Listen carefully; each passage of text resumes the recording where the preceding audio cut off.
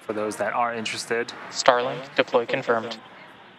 and just as I was saying that, the Starlink payloads on screen, you can see them separating themselves from the second stage and off they go.